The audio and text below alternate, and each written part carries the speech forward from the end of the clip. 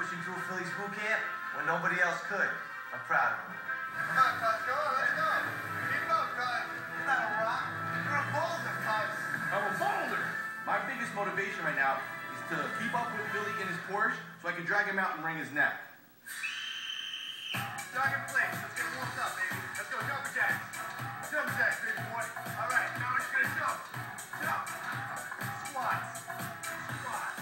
a harder coach than I would have ever anticipated. Working out with him feels like, you know, Philly's Mickey and I'm Rock.